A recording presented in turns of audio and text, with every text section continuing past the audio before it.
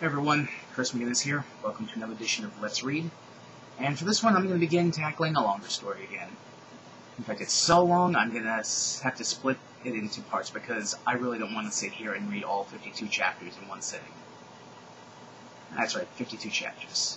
I don't know what the average length of them are. They might be really short chapters, some of them might be long.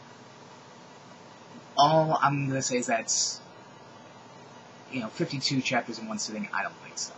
So like I said, I'm going to release this in uh, five parts, I think. The first 10 parts will be 10 chapters each, and then the final part will be uh, the final 12 chapters. So today I'm reading uh, what I've heard described as one of the oddest fanfic works out there.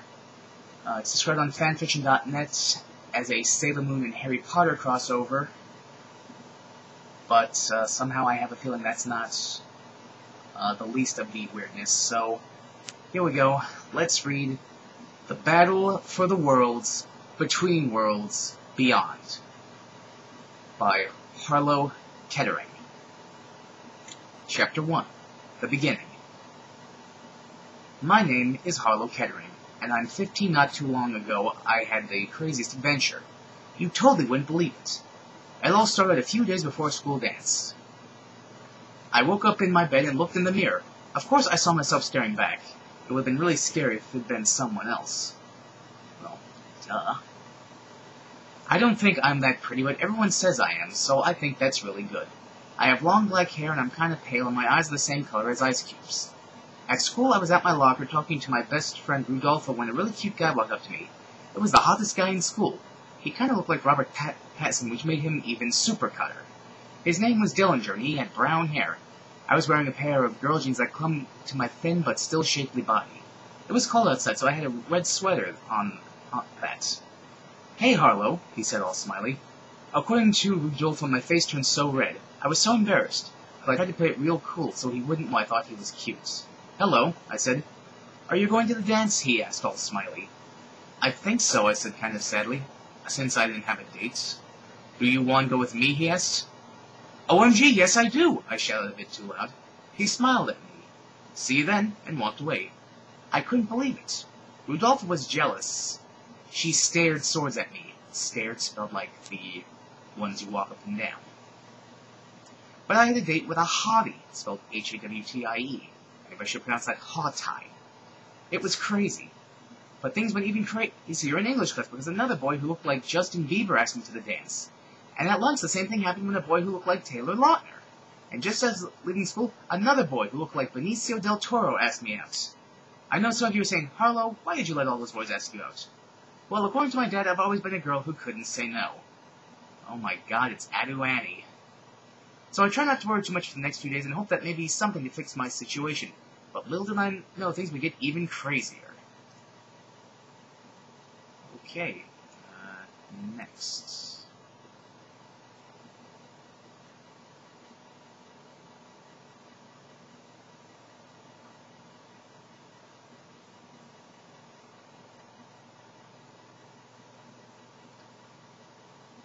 Great for everyone out there watching. Here as I wait for this to load.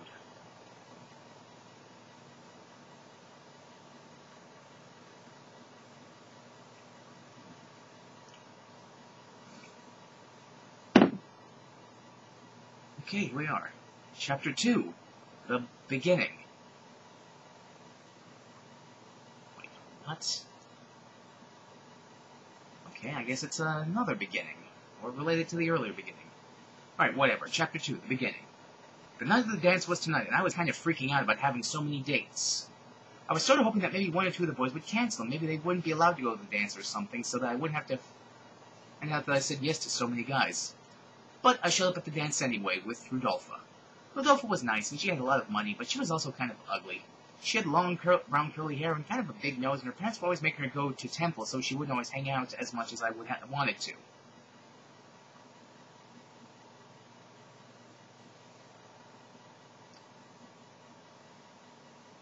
Have lots of money, has a big nose, and she goes to temple.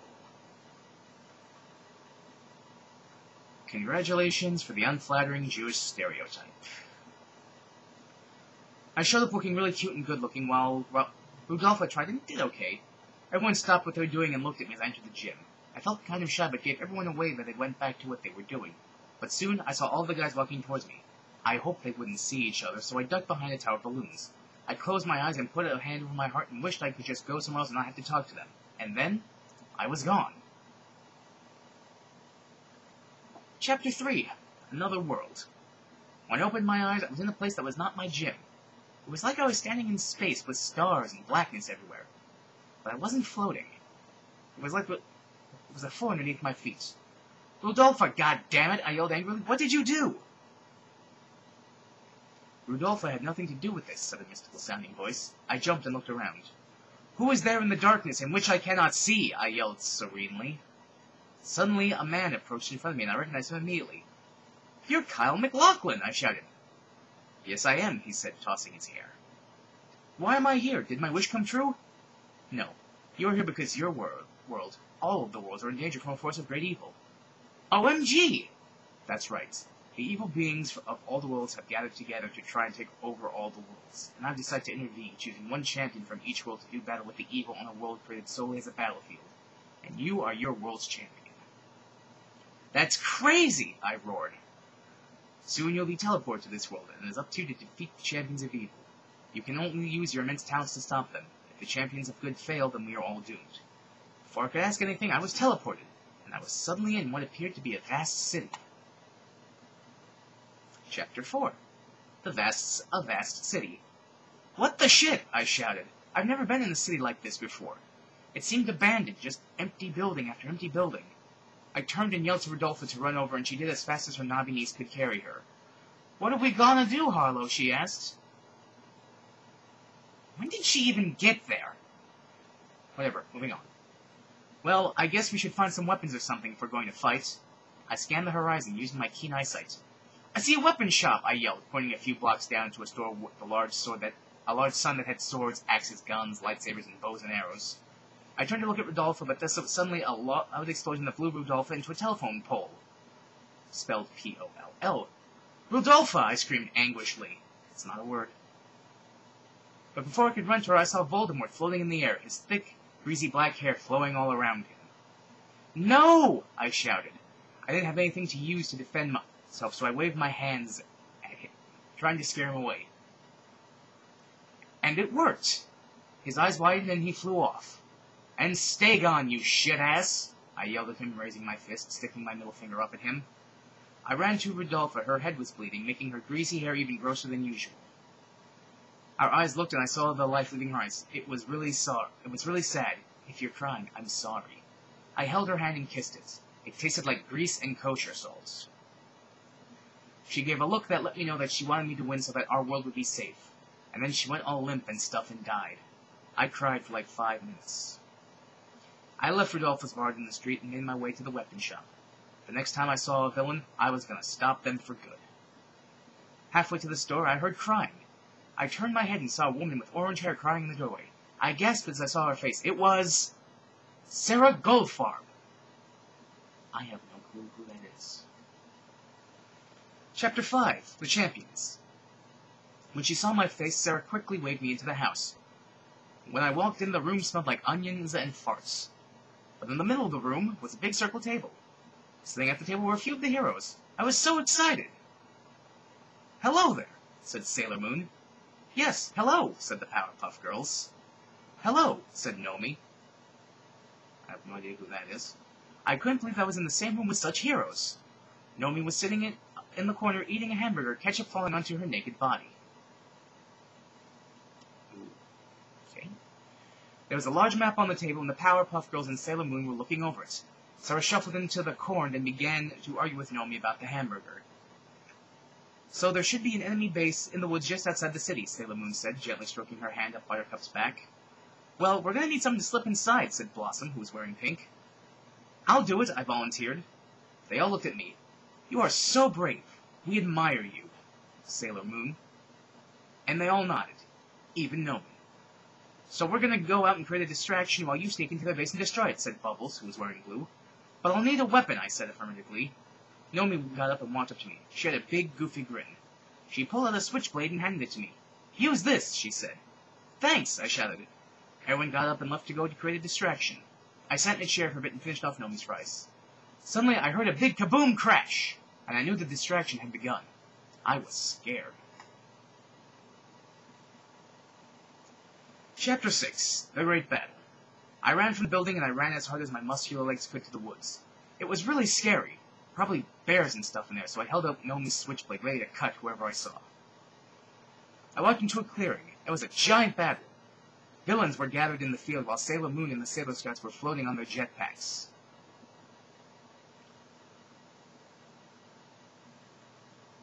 Okay, I'm not a Sailor Moon expert by any means, but I don't remember them ever having jetpacks. Using their magic wands to blast people away.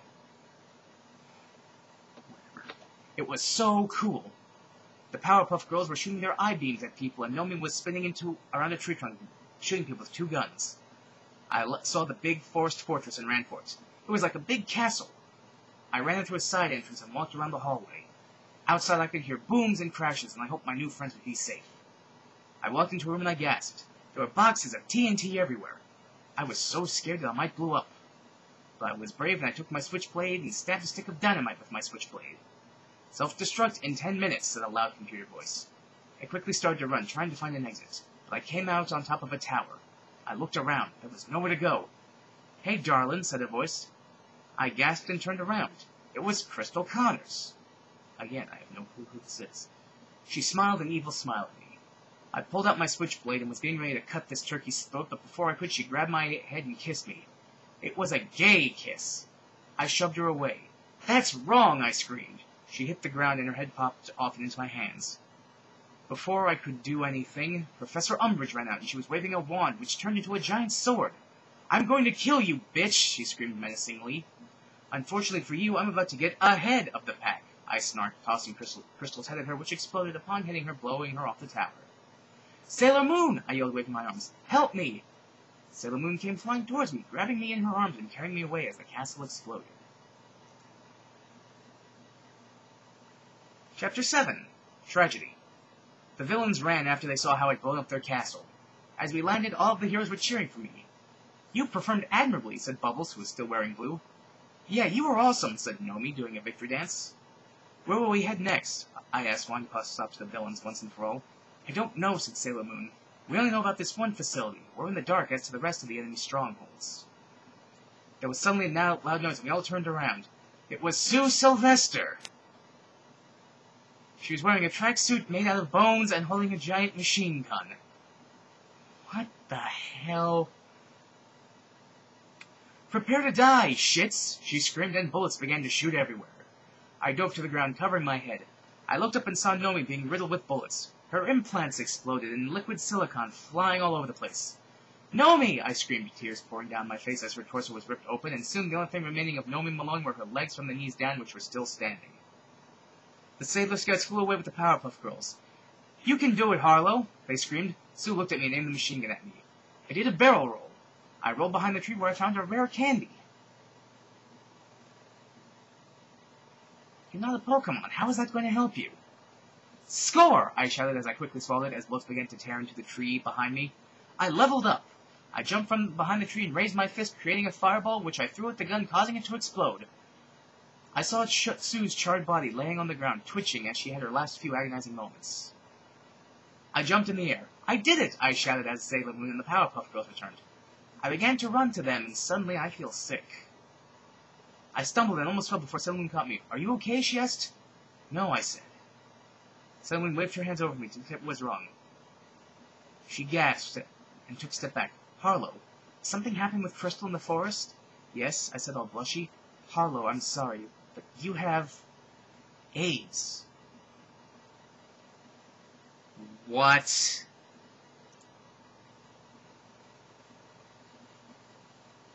She was kissed on the head by this person. That's not how AIDS works.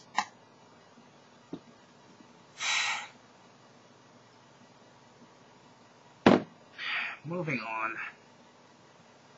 Chapter 8 Search for a Cure. No, I screamed. I can't have AIDS. It's not fair. Sailor Moon strokes over my hair. Don't worry. There's an enemy stronghold in the city where I heard they were developing a cure for AIDS. If we sneak in and steal it, you'll be cured. I let out a sigh of relief. We buried Nomi's legs and said a prayer of her grave. I only hope that she'd be the only person I have to say goodbye to in this quest. We decided to go back to the city to try and find the research building where the AIDS cure was being developed. When we walked into the city, I almost fell. I was feeling weak from having AIDS. Just then, I heard the sound of someone bumping into a trash can. The Powerpuff Girls flew into the alley and emerged carrying Draco Malfoy. He was fighting and arguing, when, but when he saw me, he stopped. Blossom threw him onto the ground. Tell us where they're making the AIDS cure, Sailor Moon said, kicking Draco in the stomach. He let, out a cry like the grape lady, so it must have really hurt. I don't even know what that sentence means. No, I'm not telling you anything, Sailor Boobs. Sailor Moon roared like a boar. Tell me where it is or I'll kick you until you shit yourself, she shouted. I quickly sat down next to Draco, holding my hand in his. Please, I said, looking him in the eye. I have AIDS. When Draco heard that, he softened. I'll take you to it, he said. We both got up and he held my hand. I felt my face going red as he led us through the city.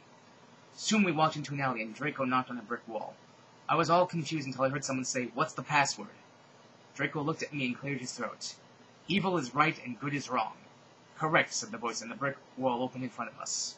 And with that, we headed into the evil lair. Chapter 9 The Evil Lair We went into the lair. The walls were metal-like and seemed all technological, like a lab in a spaceship movie. Me, Draco, and Rodolphe tiptoed through the hallways. Draco, I said askingly, do you know where the cure is? No, sputtered Draco. I'm not allowed to go to a lot of places here since I'm not evil enough. I gave him a thumbs up. That's a-okay in my book, I said. Oh my god, you two are such a perfect couple, couple, Rudolpha said, moving her hands a lot. Rudolpha, don't be silly, I screamed. She just smiled and continued sucking on a cube of cup of ice cubes. We soon found a huge door and heard lots of voices behind it. I tried to hear someone say the word AIDS, and someone eventually did. This is it, I whispered, looking at the two. When I open the door, people are probably going to fire lasers at us or something, so get ready. I opened the door and saw a giant tube being poked and prodded by a series of robot arms. Controlling the arms behind the thick piece of clear plastic was Hitler. Oh, God. The Nazis saw us and they pulled out laser rifles and began firing. I dove behind the computer, pulling Draco with me.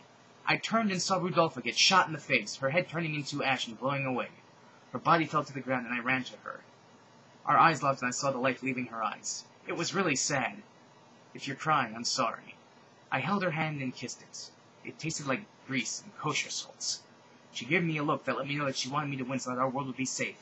And then she went all limp and stuff and died. I cried for like five minutes. Why do I get the feeling this is going to be a really, really stupid running gag? I jumped in the air and began shooting fireballs at all the Nazis, causing their guns to blow up. They ran and I looked up at Hitler and stuck my middle finger up at him. I'm gonna show you my Eva Braun. Braun spelled like strength. Chapter 10 Battle with Das Fuhrer. Hitler jumped through the plastic, shattering into a billion pieces. He landed in front of me and pulled out a weird stick. He waved it about. Germany Planet Power! He disappeared in the flash and reappeared as Sailor Germany.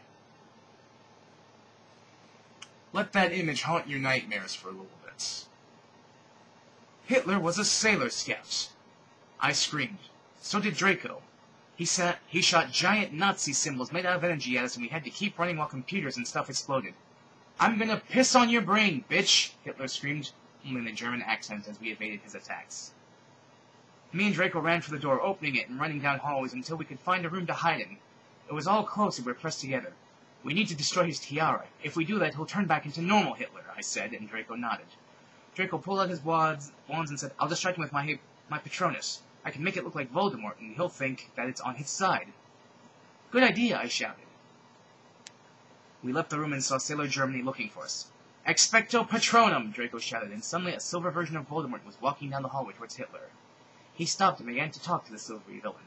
I started running and jumped through fake Voldemort, grabbing Hitler's tiara and pulling it from his head. He, he shouted as his Sarkos went away and he turned back into regular Hitler. I pulled up the switchblade that Nomi gave me. This is for Nomi, you dictator! I drove the blade into Hitler's forehead.